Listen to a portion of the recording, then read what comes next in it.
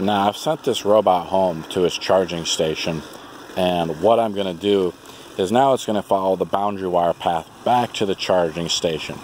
Now what I want to tell you a part of the boundary wire and why it's so important is obstacles impeding the boundary wire. Most likely if your robot grass is uneven for whatever reason, it's because as it's returning back on the boundary wire back to the charging station, remember the perimeter wire all around your property, there's an obstacle. Most likely a stick or a toy or a twig or branch, whatever, it has blocked the path of the robot. So, you know, what during the first couple weeks, you know, of your installation especially, you want to really make sure my robot has returned successfully back to the garage there, right there.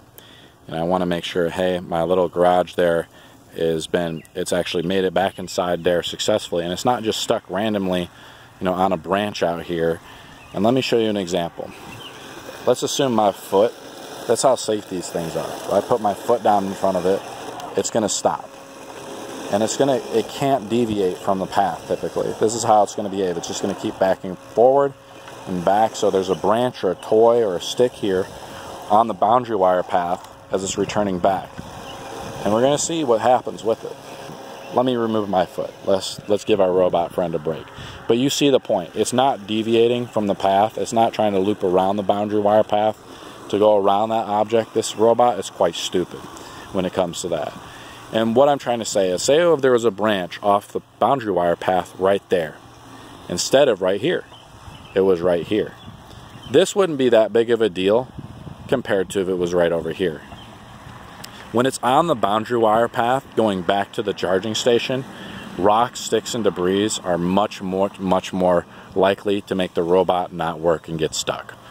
So that's the major, uh, another major problem that people have when operating the robot and just understanding, okay, if I'm doing some landscape work, say back here on my, uh, my bed back here of some crabgrass and stuff that I'm trying to spray down. You can see the weeds over there dying. I'm spraying them down with some experimental stuff.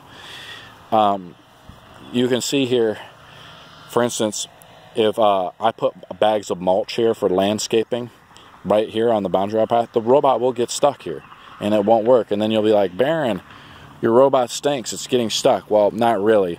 I'm trying to teach you how to do it. If I put the bag of mulch out here, there's much, much, much less likely that our robot will get stuck. And I'm just trying to teach you that the perimeter wire is a very important aspect and the only way this robot can actually return back to the charging station.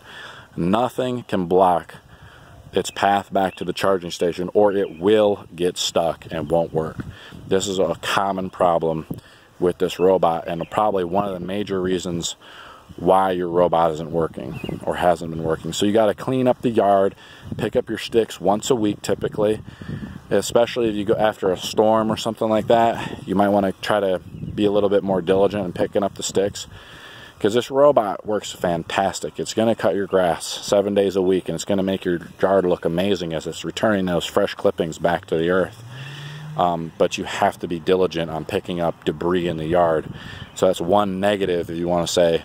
But it's also you'd have to do that with traditional mowers, and traditional mowers are more dangerous because of the vacuum and the power of those blades that it sucks up. Will spit out those sticks and stuff. So I'm trying to make myself very clear uh, on this, and one major reasons why these robots, and I go out to a lot of properties and I see these things stuck, and so and the main reason why they're stuck is that there has been some obstacle that has impeded the boundary wire path.